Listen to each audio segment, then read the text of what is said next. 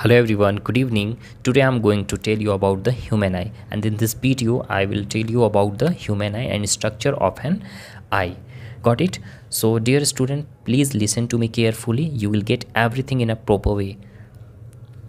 तो चलिए अब वीडियो को स्टार्ट करते हैं। एंड स्टार्ट करने से पहले आप मेरा लाइक सब्सक्राइब करें। अगर आप मेरे वीडियो पे न्यू हैं तो और नोटिफिकेशन बेल आइकन को भी दबाना ना भूलें, ताकि किसी भी तरह का वीडियो अपलोड करूँ तो आप तक जल्द से जल्द पहुँच सके। तो चलिए ये वीडियो को स्टार्ट करते हैं। आपको पता है कि आप अपने आइज़ से जो ब्यूटीफुल वर्ल्ड है हमारा, उसको प्रॉपरली आप देख सकते हैं। अगल बगल के चीज़ों को आप प्रॉपरली देख सकते हैं। ठीक है ना? जो भी कलर्स का हो, आप उसको देख पाते हैं अपने आई की मदद से। और फर्स्टली हम लोग जानेंगे आई हमारा एक सेंस ऑर्गेंस है।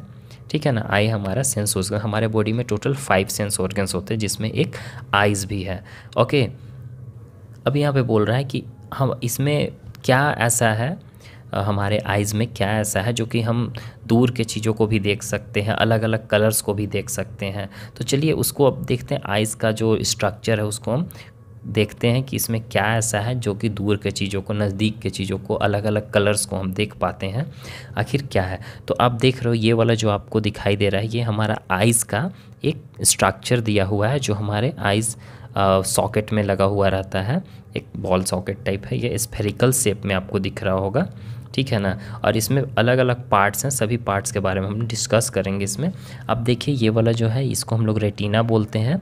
आप चाहें तो इसको इस पिक्चर को ड्रॉ भी कर सकते हैं प्रॉपरली ड्रॉ कर लीजिएगा, ताकि आपको अच्छे समझ में आ जाएगा। आप स्क्रीन ले सकते हैं इसका। यहाँ पर देखिए, ये वाला, यहाँ पर एक मसल्स होता है, जो सिलियरली मसल्स इसको बोलते हैं। और यहाँ का, यहाँ पर ये वाटर लिक्विडी टाइप होता है। लिक्विड टाइप होता है और ये बीच में जो होता है ना, पोपिल होता है। उसके बाद ये जो हमारा है, ये वाला कॉर्निया है। कॉट इट ऊपर में जो दिख रहा है, ये कॉर्निया है। उसके बाद इरीज़ हमारा, एक इरीज़ ये वाला है, जो कलरफुल पार्ट्स होता है हमारा आइज़ का। दैट इज़ कॉल्ड इरीज़, ठीक है ना? उसके बाद देखिए क्लियरली जेली यहाँ पे ये जो है ना, पूरा जेली सब्सटेंसेस होता है लिक्विड टाइप रहता है। ओके? फिर स्किलरा इसको बोला जाता है। इधर का जो पार्ट्स हैं, आपको दिखाई दे रहा होगा, ये सब हमारा क्या है? स्किलरा है। इसके बारे में डिस्कस करेंगे तो और प्रॉपर वे से समझ में आएगा। अभी बस हम पार्ट्स बता दे रहे हैं आपको। यहाँ पे ये एक ऑप्टिक नर्व्स होता है। ये हमारा ऑप्टिक नर्व्स है। यहाँ पे ब्लाइंड स्पॉट बोला जाता है और लेंस हमारा ये वाला लेंस है। ठीक है ना? और रेटिना हमारा ये है। तो अब चलिए वन बाई वन करके एक एक चीज़ों को देखने वाले हम लोग। यहाँ पे बोल रहा है कि हम लोग ह्यूमन आई बहुत छोटा होता है, हमारे जो आइज़ है ना, लगभग 2.5 सेंटीमीटर के लेंथ में होता है, इतना लंबाई होता है इसका। और हमारा जो आईलिड होता है, जिसको जैसे कि कभी कैसे आपका कुछ आँख में पड़ने लगा या ज़्यादा स्पीड हवा चल रहा है तो आप अपना आइज़ को बंद बंद कर देते हो ऊपर वाला तो उसी को आईलिड बोलते हैं ना। उसी को क्या बोलते हैं? आईलिड बोलते हैं। ये क्या करता है? हमारा आँख का इंटरनल पार्ट्स को प्रोटेक्ट करके रखता है। किसी भी चीज़ों से, ये इंजर इंजरी होने में जैसे कोई आप पे कुछ फेंकता है अगर तो आप झट से आँख ऊपर वाला बंद कर लेते हो। तो ये हमको इंजर्ड होने से बचाता है, ठीक है? और हमारे जो इंटरनली पार्ट है, वो अलग अलग चीज़ों से मिलकर बना हुआ है, उसी चीज़ के बारे में भी बताने वाले हैं आपको। फ़र्स्ट हम लोग पुपिल के बारे में पढ़ेंगे। पुपिल क्या होता है कि इनर अपर्चर होता है। हमारे आँख का अंदर का अपर्चर होता है, जिसको हम लोग सेंटर में देख सकते हैं। ये बिल्कुल सेंटर में होता है, जिसको हम लोग पुपिल बोलते हैं। जैसा कि आप देख रहे हो, ये एकदम सेंटर में होता है, बीच में होता है, बिल्कुल ना? ये इसी को हम लोग पुपिल बोलते हैं। The pupil like a hole through which light enters the eye जो पुपिल होता है ना, एक छोटा सा होल टाइप होता है उसमें, ठीक है? मतलब एक just like a hole type रहता है और जिससे लाइट जो होता है, बाहर का लाइट जो होता है, हमारे आँख के अंदर एंटर करता है, ठीक है? पुपिल क्या होता है? होल टाइप होता है, बाहर का लाइट जो भी है, वो आँख के अंदर इसी से एंटर करता है। तो आई होप कि ये क्लियर हुआ होगा।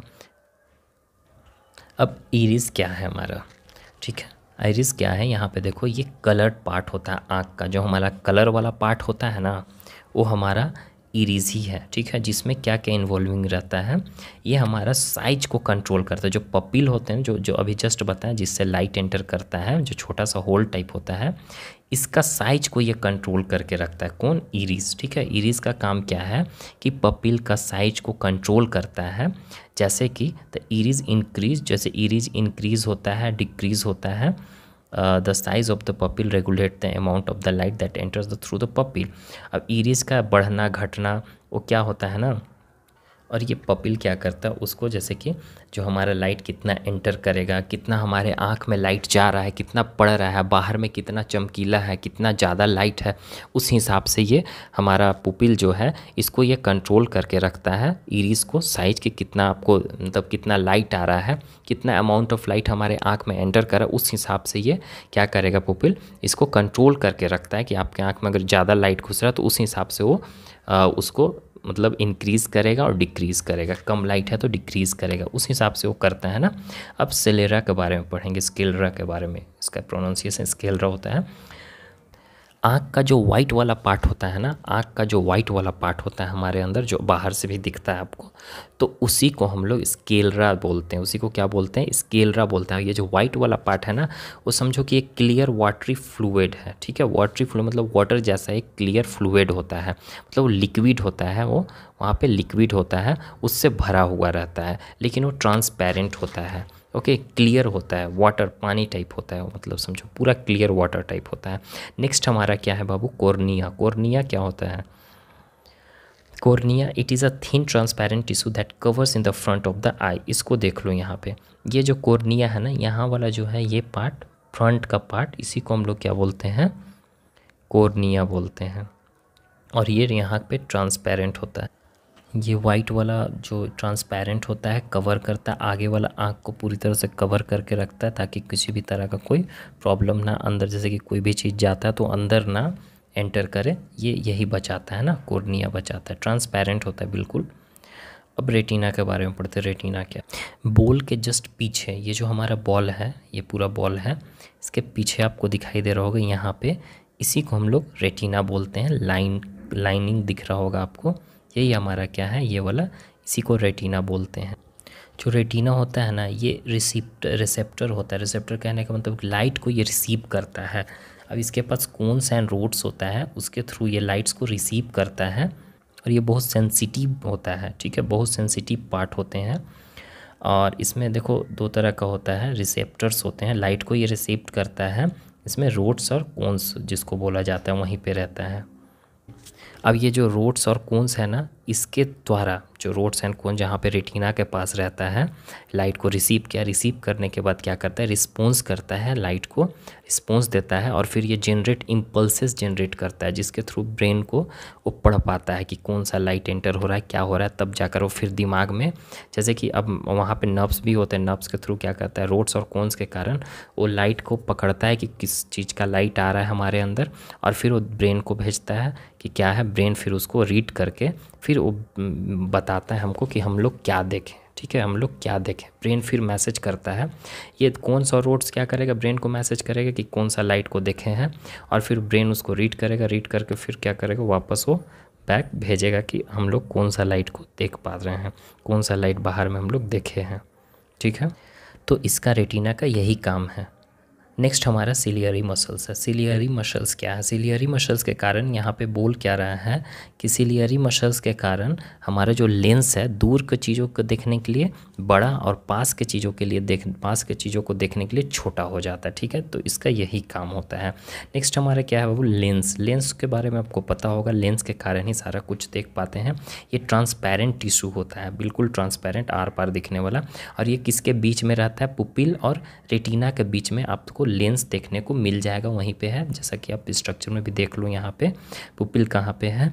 यहाँ पे है और रेटिना हमारा यहाँ पे है। तो इसके बीच में ये जो हमारा है, यही वाइट वाला जो दिख रहा होगा, ये हमारा लेंस है। ठीक है? अब इसका काम क्या है? चलिए देखते हैं। इसका काम क्या है कि जैसे कि लाइट इसके थ्रू एंटर करता है तो जब लाइट इसके थ्रू पास करता है ना तो क्या करता है कि ये pupil into the eyes through the pupil के थ्रू आता है आँख में, ठीक है हमारा? और ये हेल्प करता है, मदद करता है इमेज को देखने के लिए, जो उसके थ्रू लाइट का रेज जो जा रहा है ना, उसमें पता चलता है कि कौन सा ये कौन सा इमेज है, किस तरह का मतलब इमेज ये बना देता है अंदर जाकर कि कौन सा, अब बाहर में क्या देखे हो, उसका इमेज ये अंदर जाकर बना देता है ना? ये लेंस हेल्प करता है फोकस करने में कि कौन सा लाइट पास हो रहा है हमारे पपिल के थ्रू और उसके थ्रू जो रेज जा रहे हैं इमेज ये बताता है कि कौन सा इमेज है, क्या है ना? तो इसका यही काम होता है और लाइट यहाँ जाकर फिर इस तरीक़ा से वो यहाँ पे इमेज बना देता है तो फिर उसको रीड कर पाता है कौन? रेटिना जिसमें रेटिना में भी बताया था ना कि कौन सा रोड्स थे, उसके थ्रू फिर वो मैसेज भेजता है वहाँ, मैसेज भेजकर बताता है ब्रेन को कि क्या है, क्या नहीं, और फिर ब्रेन उसको रीड करके वापस मैसेज भेजता है कि ये है, तब जाकर हमारा आँख इतना प्रोसेस होने के बाद हम कोई भी चीज़ों को प्रॉपरली देख पा रहे हैं, ठीक है ना? तो ये झट झट प्रोसेस होता है, ऐसा नहीं कि लेट होता है, तब अगर लेट होता तो हम लोग को देखने में कोई भी चीज़ बहुत टाइम लगता है, ऐसा नहीं है ओके नेक्स्ट हमारा क्या है? ऑप्टिक नर्व्स ऑप्टिक नर्व्स क्या है? It connect the eye to the brain और देखो नर्व्स ये है ये आँख को ब्रेन से कनेक्ट करता है अब इम्पल्सेस को कैरी करता है ब्रेन से। मतलब कि आ, क्या जैसे कि आँख से ब्रेन को कनेक्ट है और आ, ये आइज़ भेजता है वहाँ मैसेज कि क्या है क्या हम देखें फिर मैसेज क्या करते हैं इम्पल्स करके उसको पढ़ कर अच्छे से रीड करके फिर ब्रेन इसको देता है ठीक है ना?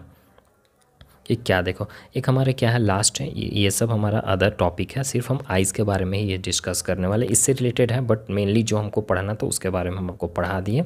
और ये ब्लाइंड स्टॉप इस स्पोर्ट हमारा लास्ट इस लास्ट टॉपिक है तो इसको देख लेते हैं। एक पोर्शन होता है रेटिना में, जहाँ पे nerve fibres enter through the optic nerves ठीक है ना? एक पोर्शन है रेटिना पर आप देखोगे जहाँ पे नर्व्स फाइबर्स जहाँ पे नर्व्स होते हैं ना, वहाँ से ऑप्टिक नर्व्स एंटर करता है।